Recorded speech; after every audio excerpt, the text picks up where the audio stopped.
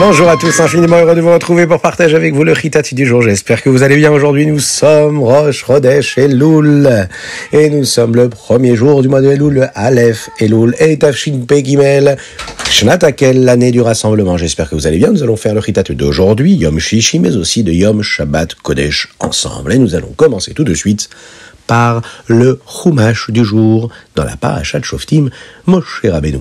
Bien sûr, il est strictement interdit de voler, il le dit au Béni Israël, mais en terre d'Israël, il y a une mitzvah supplémentaire qu'il faut respecter. Cette mitzvah-là, c'est de veiller à ne pas voler le champ de quelqu'un d'autre en déplaçant la clôture pour agrandir un peu plus son propre champ. Il est extrêmement important de juger correctement les gens au tribunal, au Beddin, la paracha nous dit. C'est pourquoi il doit toujours y avoir deux témoins avant que le Beddin puisse punir quelqu'un. S'il y a par exemple un litige financier, eh bien un témoin suffit pour obliger la personne à faire une chevoie, un serment, en utilisant le nom de Dieu. Le Bet Din doit s'assurer que les témoins disent la vérité. Si un nouveau groupe de témoins prouve que les premiers témoins mentent, on appelle ça des Edim Zomemim. Eh bien, eux, ils subissent une punition, la punition qu'ils cherchaient à infliger à l'autre personne. Lorsqu'une personne fait du mal à une autre personne, le Beddin doit lui faire payer ce qu'elle a fait. Maintenant, mon cher Abénou explique au Israël comment mener une guerre, un combat. Nous devons avoir confiance en Dieu, dit Moshe Rabbeinu. Lorsque nous combattons, Dieu nous aide à gagner. Il est interdit d'avoir peur lorsque nous combattons une guerre, parce qu'un homme, un juif, doit avoir confiance en Dieu. On ne doit jamais avoir peur. L'olefached klal. La guerre qu'Akadosh Baruch nous demande de combattre, c'est Dieu qui la veut, et il nous aide à la mener à bien. Lors des combats que les bénis Israël devaient mener, il y avait les motivations d'une personne qui était à côté d'eux, qui s'appelait le Kohen, et il était appelé le Mashouach Milchama, c'est-à-dire, moins, Mashouach pour la guerre. Il commence par avertir les bénis Israël de ne pas avoir peur, car c'est Dieu qui combat à nos côtés. Il y a des cas particuliers où là, le Kohen et les officiers demandaient à des hommes qui étaient censés combattre de rentrer chez eux, de ne pas aller au combat dans le cas où ils ont peur. Pourquoi? Par exemple, s'ils viennent de construire une maison, ou bien de planter une nouvelle vigne avec des raisins, ou bien de se fiancer. Eh bien, toutes ces choses-là inquiètent une personne parce qu'elle s'est investie dans quelque chose de nouveau. Elle veut s'assurer de pouvoir utiliser sa maison, de pouvoir manger ses raisins, de pouvoir épouser son épouse, sa femme, et elle pourrait avoir peur d'être tuée pendant la guerre. Et du coup, elle irait combattre avec de la peur et l'ennemi regarde et scrute et observe la peur qu'il peut y avoir sur le combattant. Il donne également à toute personne qui a peur de ses fautes la possibilité de partir.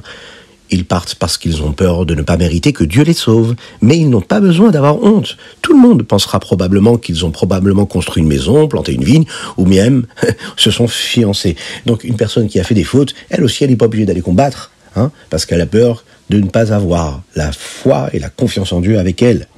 Ensuite, certains soldats ont pour mission de s'assurer que personne ne s'enfuit. Car s'il y a un soldat qui fait partie du régiment qui est en train de combattre, qui s'enfuit devant l'ennemi, eh bien, ça va effrayer tout le monde. Donc, on s'assure que tout le monde soit bien en confiance et reste ici.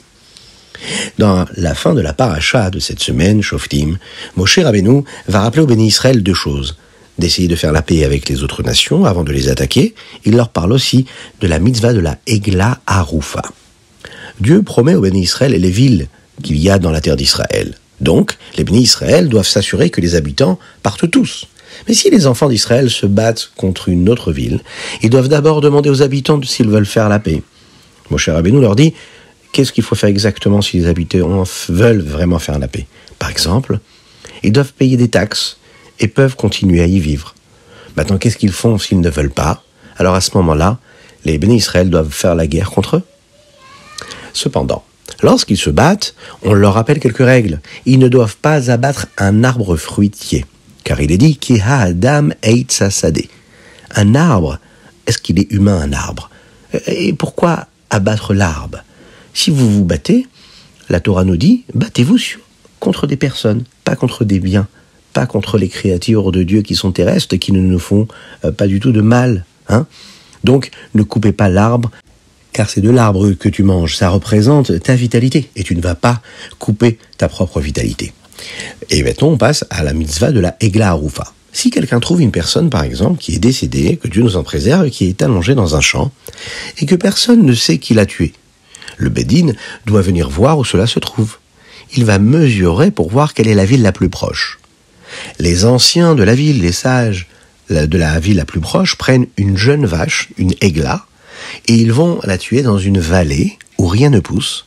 Ça va être une forme de capara pour la personne qui a été tuée, puisque personne ne la connaît. On ne sait pas d'où elle vient. Donc il faut demander à Kadosh une capara, un pardon. C'est une vache jeune qui n'a jamais eu d'enfant, dans un endroit où rien ne pousse, pour compenser le fait que quelqu'un a tué un juif qui ne peut plus grandir en mitzvot, puisqu'il n'est plus là, ici-bas sur terre, que Dieu nous en préserve. Les anciens, eux, vont dire comme ça, ce n'était pas de notre faute si la personne a été tuée. Et là, les Kohanim vont dire, Akadosh Baoru, Dieu, pardonne s'il te plaît aux enfants d'Israël. Et là, Dieu pardonne. Cependant, s'ils trouvent plus tard la personne qui a fait ça, bien sûr, eh bien, ils doivent le punir.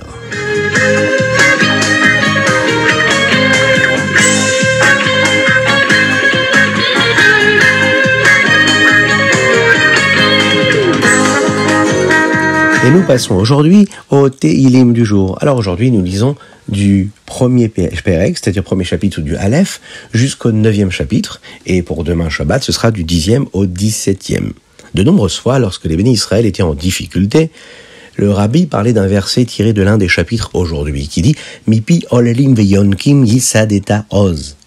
De la bouche des enfants et des nourrissons, tu as fondé la force pour détruire les ennemis. C'est David Ameller qui le dit. Eh bien, le rabbi de Lubavitch explique que la force de la Torah et des mitzvot des enfants est ce qui nous donne la force de détruire nos ennemis. De ce verset, nous apprenons que même lorsqu'un tout petit enfant ou un bébé dit des paroles de Torah, ou bien quand il accomplit une mitzvah alors qu'a priori il n'a pas l'obligation de le faire, eh bien il est capable de protéger les béné Israël et le peuple juif partout où il se trouve. C'est pourquoi l'éducation des jeunes enfants est si importante. C'est pourquoi on leur demande beaucoup, qu'on est exigeant, qu'on veut qu'ils disent, qu'ils prononcent, qu'ils parlent et qu'ils agissent comme il faut. La Torah, la Tfila et les mitzvot, car cela contribue à la sécurité de tout le peuple juif là où il se trouve. Dans le chapitre de demain, entre le 10 et le 17, il y a un verset qui dit Tzadik Hashem, tzedakot à Eve. Hashem aime donner la tzedaka. Lorsqu'Hachem nous a donné la Torah, nous avons été capables de ressentir Akadosh Baruch dans le monde, sa présence. Nous avons pour mission de faire connaître la présence d'Hachem partout dans le monde. Et lorsqu'on aide un autre juif à prendre conscience de la présence de Dieu dans son existence, c'est la meilleure tzedaka qui puisse exister.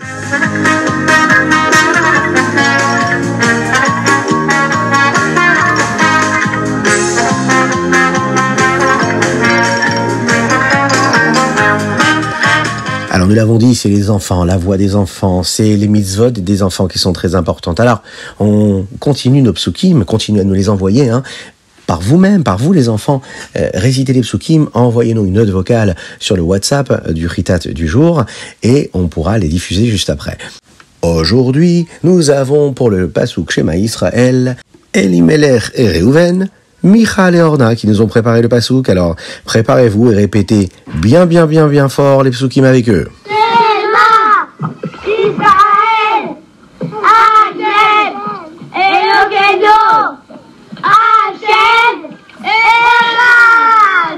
Magnifique, ça c'est un beau pasouk, hein, Kakadosh vous bénéficie, qu'il vous protège et qu'il vous envoie toutes les brachot du monde.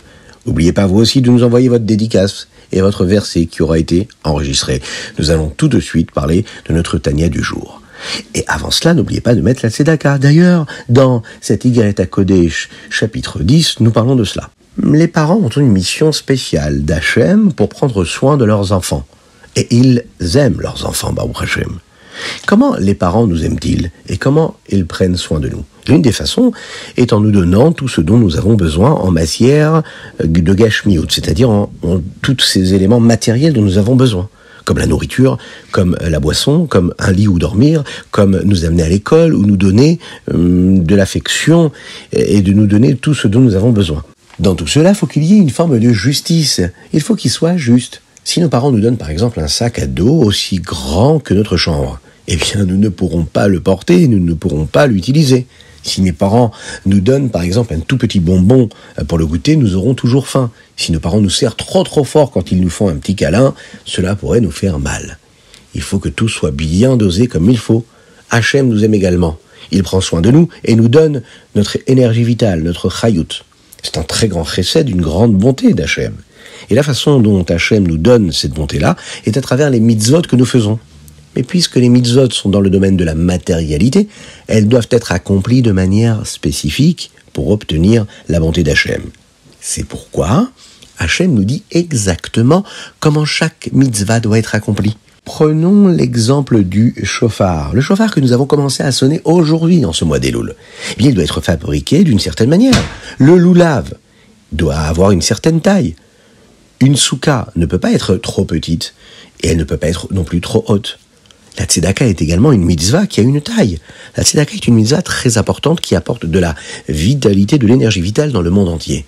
C'est l'une des mitzvot pour lesquelles le monde entier existe. Al-Shosha Devarim nous le disons tous les jours dans la Tefila. On doit donner notre tzedaka. Par exemple, nous donnons un chomesh de notre argent, c'est-à-dire un cinquième de l'argent que nous recevons pour la tzedaka si nous voulons accomplir la mitzvah de la meilleure manière. Si nous voulons donner juste le minimum, ce sera donc le maaser, un dixième, pour la mitzvah de base.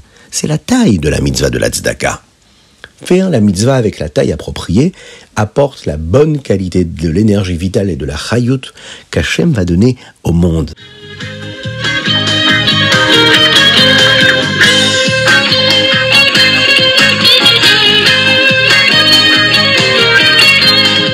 Nous passons tout de suite au Ayom du jour. Dans le Ayom aujourd'hui, nous apprenons une coutume que nous commençons aujourd'hui et que nous allons poursuivre tout au long du mois de Elul jusqu'à la Aseret Miyeme Tshuva, les dix jours de pénitence entre Rosh Hashanah et Kippour.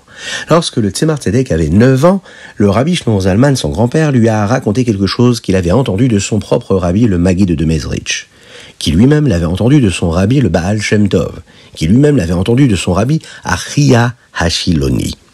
À partir du deuxième jour de Rosh Chodesh Elul, c'est-à-dire aujourd'hui, nous disons trois chapitres supplémentaires dans les Teilim. Nous disons 36 chapitres le jour du Yom Kippour, nous disons 9 avant Kol Nidre, 9 avant d'aller dormir, 9 après la prière de Moussaf, 9 après Neila. De cette manière, nous finissons tout le Sefer Teilim. Si quelqu'un n'a pas commencé à temps, il devrait d'abord dire les chapitres ce jour-là du jour, et ensuite il peut rattraper ce qui lui a manqué dans le Hayom de demain, du Bet Elul, il est dit comme ça. Chaque juif possède un trésor de bonnes midotes, de traits de caractère cachés à l'intérieur de lui. Et notre travail est de nous inspirer nous-mêmes et les autres à vouloir faire briller ces corottes, ces forces que nous avons en nous. Imaginez que quelqu'un que vous respectez vous dise qu'il y a un trésor enterré dans votre jardin. Il en est sûr, mais il n'est pas sûr de sa profondeur. Euh, peut-être est-il près de la surface, ou peut-être est-il enfoui profondément. Est-ce que vous sortiriez pour commencer à creuser? Eh bien, chaque juif est appelé une Eretz Chefet, c'est-à-dire une terre avec des trésors enfouis à l'intérieur. Les trésors en chaque juif sont la Hirachamaim, la crainte de Dieu, et la Havat l'amour de Dieu. Mais aussi les bonnes midotes, ces bonnes vertus, ces bons traits de caractère, ces bonnes attitudes. Chez certains juifs, ils sont juste là. Chez d'autres juifs, ils pourraient être beaucoup plus difficiles à trouver. Mais ils sont là, c'est certain. Reprenons l'analogie dont nous avons parlé juste avant, le trésor qui est enfoui. Nous voyons que certaines personnes, quand on leur dit qu'il y a un trésor dans leur jardin, iront creuser pendant quelques minutes, puis ils seront capables d'abandonner et puis de laisser cela à l'extérieur. Tandis qu'il y a d'autres personnes qui seront capables de continuer à creuser jusqu'à ce qu'elles trouvent le trésor. Pourquoi? Eh bien parce que ces personnes-là ont de la patience et sont prêtes à continuer d'essayer. Eh bien c'est aussi vrai ici dans la leçon que nous devons prendre. Un juif doit être patient et persévérant. S'il a de la patience et qu'il continue d'essayer, eh bien il trouvera toujours le premier trésor à l'intérieur de lui-même et des autres juifs. Vous savez ce que c'est ce trésor-là, par exemple? C'est le ratson, c'est la volonté que nous voulons devenir un juif meilleur. Une fois que nous avons ce premier trésor, c'est-à-dire la volonté, eh bien tous les autres trésors vont venir aussi, car rien ne résiste à la volonté. Une fois que quelqu'un veut devenir meilleur, rien ne peut se mettre en travers de son chemin et il deviendra le meilleur du monde.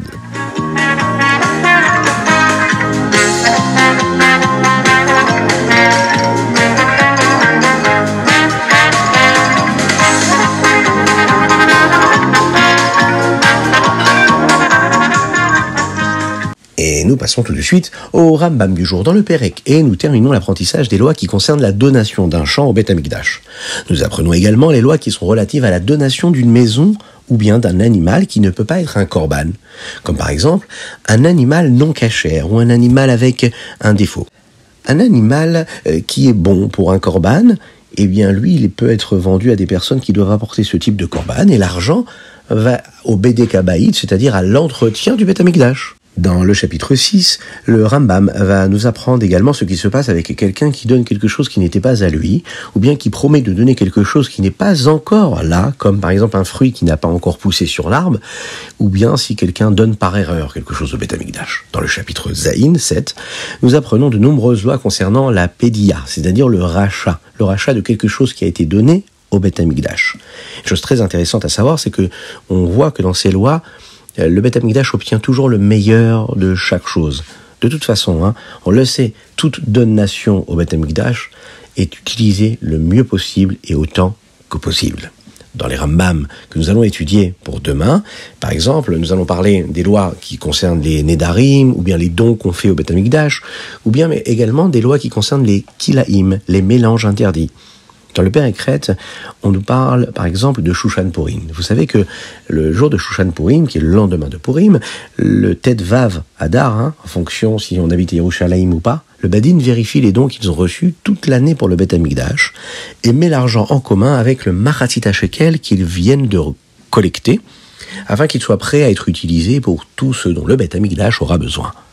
Toutes les choses qui ont été données doivent être vendues. Pourquoi? Il y a parce que le Beth Amikdash n'utilisera que l'argent. Alors, on peut se souhaiter Mazal Tov, hein, parce qu'on vient de terminer l'apprentissage du Sefer Aflaha, et maintenant nous allons commencer à apprendre le prochain Sefer qui s'appelle le Sefer Zraim, de toute cette œuvre-là de Maïmonide de Rambam, qui commence par les lois de Kilaïm. Dans le premier chapitre, nous apprenons deux types de Kilaïm, les choses que nous ne sommes pas autorisés à mélanger. Il y a par exemple Kilei Zeraim, différents types de graines ou de plantes qui ne sont pas autorisées à être plantées ensemble. Nous avons ensuite les kil et ilanot, différents types d'arbres qui ne sont pas autorisés à être forcés de pousser ensemble. La mitzvah de kil et n'est que une mitzvah que nous faisons euh, en Eretz Israël. Par contre, kil et ilanot par rapport aux arbres, le fait de forcer deux types d'arbres à pousser ensemble est interdit partout même en dehors des rêtes Israël. Mais même si nous ne pouvons pas faire pousser ce genre d'arbres, eh bien nous avons le droit de manger des fruits qui ont poussé à partir d'eux.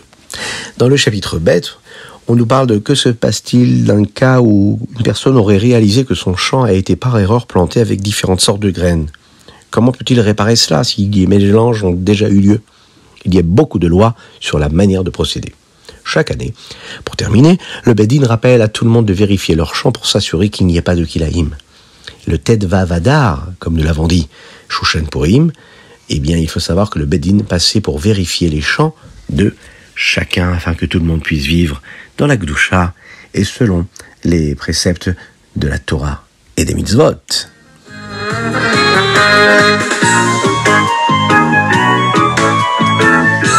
Voilà, c'était le Chita du jour. J'espère que vous avez passé un bon moment, que Dieu vous bénisse et qu'il vous protège. Je vous souhaite Shabbat Shalom Umevrach. Soyez bénis, soyez heureux, soyez joyeux. C'est un beau Shabbat, le Shabbat du Chodesh Elul qui démarre. On va étudier, on va prier, on va chanter, on va danser, on va se réjouir. Parce que Kadosh Baruch nous donne une nouvelle vitalité, qu'il est à côté de nous, il va pardonner nos fautes. Il ne demande qu'une seule chose, que l'on vienne vers lui, et c'est lui qui viendra vers nous, comme il l'est déjà d'ailleurs. Que Dieu vous bénisse. La dédicace du jour, elle est pour la Refoua Shenema de Avraham Nissim Ben Sultana. Dites Amen ve Amen là où vous êtes.